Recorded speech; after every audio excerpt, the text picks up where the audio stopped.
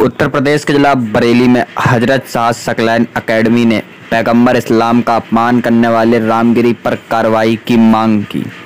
आपको बताते चले, पैगंबर इस्लाम का अपमान करने वाले रामगिरी महाराज के खिलाफ कानूनी कार्रवाई की मांग करते हुए खान खाए।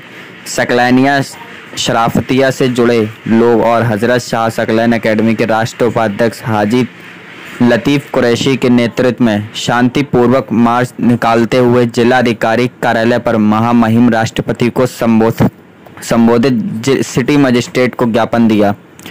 मोहम्मद हमजा सकलैनी ने कहा कि पैगंबर इस्लाम का अपमान करने वाले हिंदू धार्मिक गुरु रामगिरी के खिलाफ बरेली में लगातार प्रदर्शन का दौर जारी है। इसी क्रम में खानकाए सकलैनिया शराफतिया से जुड़े दर्जनों लोगों ने शांतिपूर्वक मार्च निकाला। अभी क्या मामला है जी मैं मोहम्मद हमजा सकलैनी खानका शराफतिया सकलैनिया का मीडिया प्रभारी हूँ प्रवक्ता हूँ। अभी हाल ही में आप सब लोग जानते ही हैं पंद्रह अगस्त को एक महाराष्ट्र ज़िले का नासिक ज़िले का एक गाँव है कोई पाँच चले वहाँ का रामगिरी महाराज करके कोई महंत है जिसने खुले मंच से हमारे हज़रत मोहम्मद सल्लल्लाहु अलैहि वसल्लम की शान में खुले मंच से गुस्ताखी की है, आपके पवित्र चरित्र पर उंगली उठाई है। आपके पाकिजा किरदार के बारे में बड़ी गलत और अभद्र टिप्पणी की है, जिसके लिए हम लोगों में काफ़ी रोष व्याप्त है, काफ़ी गुस्सा है।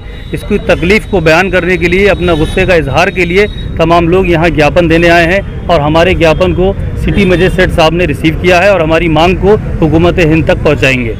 और हमारा ये कहना है कि आए दिन इस्लाम पर, हमारे धर्म पर हमारे गुरुओं पर, पूर्वजों पर जो टिप्पणियाँ की जा रही हैं, जो गलत अभद्र टिप्पणियाँ हो रही हैं आए दिन, इन सब पर हुकूमत को चाहिए कि कानून बनाए, सख्ती से कोई कानून बने ताकि इन टिप्पणियों पर गलत अभद्र टिप्पणियाँ आजकल हो रही हैं, इन सब पर रोक लगे और हमारे मुल्क में, हमारे शहर में अमन चैन कायम हो।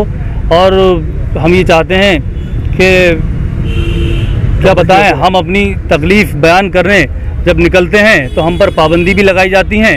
एक तो हम पर जुल्म ज़्यादतियाँ भी हो रही हैं और ऊपर से ये भी हो, ये भी चाहते हैं कि हम अपनी तकलीफ़ बयान भी ना करें। हम नामू से सल्लल्लाहु अलैहि वसल्लम के लिए, उसके तहफ़ के लिए जो कुछ भी कर मिलेगा, हम इन करेंगे। और अगर हुजूर सल्लल्लाहु अलैहि वसल्लम की शान में और इस्लाम के ताल्लुक से कोई भी गलत, अभद्र बातें की जाएँगी तो मुसलमान सड़कों पर भी उतरेगा, अपनी तकलीफ़ भी बयान करेगा। हमारे ऊपर क्या जुल्म नहीं हो रहे हैं आज? सारे जुल्म ज़्यादतियाँ हमारे ऊपर हो रही हैं। और ऊपर से ये भी क्या आप आवाज़ भी मत उठाइए। और अगर गिरफ़्तार नहीं करा गया तो फिर हम दोबारा मतलब, फिर आएँगे। मतलब ये है आप तो जुल्म में कमी ना करें और हम एहतजाज भी ना करें। ये भी है हमें एहतजाज भी नहीं करने दिया जाता। हम नामू से रसालत सल्लल्लाहु अलैहि वसल्लम के लिए और अपने ही अप, और जिस शख्स ने मेहनतगिरी जो ये है व्यक्ति इसके खिलाफ कार्रवाई की मांग लेकर अपनी तकलीफ़ बयान करने यहाँ आए हैं। अधिकारियों को अपना ज्ञापन सौंपा है और हम चाहते हैं कि इन तमाम बातों पर रोक लगे, सख्ती से कोई कानून बने और इन इन मलून लोगों को सलाखों के पीछे डाला जाए और देश में अमन चैन बना रहे। और यहाँ पब्लिक, यहाँ जो एडमिनिस्ट्रेशन है, एडमिनिस्ट्रेशन और पुलिस इस बात को इंश्योर करे कि हाँ हमने जो अपना ज्ञापन दिया है, उस ज्ञापन की आवाज़ हुकूमत हिंद तक पहुँचेगी और इसके खिलाफ कार्रवाई होगी। क्योंकि अभी तक यहाँ पर महाराष्ट्र में वहाँ उसके खिलाफ जो मुकदमा दर्ज हुआ है, उसके बावजूद भी वो खुलेआम वैसे ही मूवमेंट में हैं, कोई उसके खिलाफ कार्रवाई नहीं हुई है। लोगों में और इस बात का गुस्सा और गम व्याप्त है। तो कोशिश यही है और कोशिश करनी चाहिए हमारी पुलिस और एडमिनिस्ट्रेशन को कि इमीडिएट और सरकार को इमीडिएट एक्शन उसके खिलाफ लिया जाए।